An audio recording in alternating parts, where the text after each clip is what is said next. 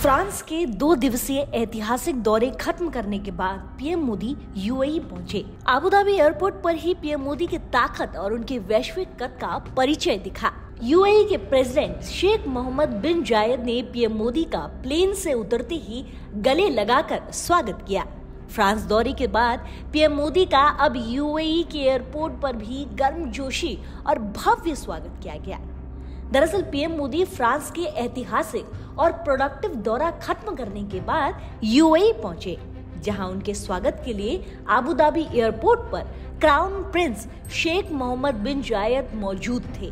शेख मोहम्मद के साथ साथ यूएई के अन्य प्रतिनिधि मंडल भी मौजूद रहे, मगर सबकी नज़रों को आकर्षित किया शेख मोहम्मद बिन जायद के स्वागत ने। पीएम मोदी के प्लेन से उतरते ही प्रधानमंत्री को बड़ी ही गर्म जोशी के साथ शेख मोहम्मद बिन जायद ने गले लगा लिया। आप तस्वीरों में देख सकते हैं कि पीएम मोदी प्लेन से उतर रहे हैं और पीएम मोदी नमस्कार करने के लिए अपने हाथों को उठाते हैं, मगर जायद ने उन्हें उससे पहले ही गले से लगा लिया।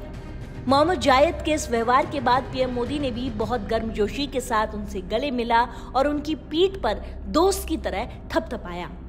मेरा हाल आप देख सकते हैं कि यूएई के प्रतिनिधि मंडल ने पीएम मोदी को पहले नमस्कार किया, तब हाथ मिलाया। अब यह एक कल्चर सा बन चुका है कि पीएम मोदी के स्वागत में विदेशी भी हाथ जोड़ते नज़र आते हैं। स्वागत के बाद पीएम मोदी को एयरपोर्ट पर गार्ड ऑफ़ ऑनर भी दिया गया। सिर्फ़ यही नहीं, विश्व की सबसे बड़ी बिल्डिंग और जिसका लाइट शो पूरे विश्व में प्रसिद्ध है, बुर्ज खलीफा इमारत पर पीएम मोदी के स्वागत के लिए लाइट शो भी किया गया।